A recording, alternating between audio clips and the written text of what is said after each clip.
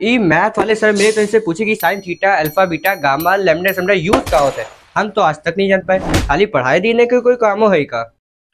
क्यों भाई? मार लिया रट्टा। इसीलिए कहते हैं, पढ़ो। आओ, मैं तुम्हें लेके चलता हूँ लर्निंग एजुकेशन फॉर यू और बताता हूँ कहाँ यूज़ होगा।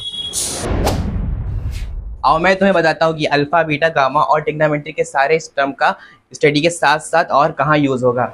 आर्किटेक्चर इंजीनियरिंग में उसकी बिल्डिंग को बनाना डिज़ाइन करना कॉलम बीम्स को डिज़ाइन करने में यूज़ होगा। दूसरा फ्लाई ओवर और ब्रिज में यूज़ होगा। अच्छा अब समझ में आया। हाँ इसीलिए कहते हैं कि पढ़ो कॉन्सेप्ट क्लियर करो तभी जाके फ्यूचर ब्राइट होगा। So quickly join Learning Education for you and boost your board preparation.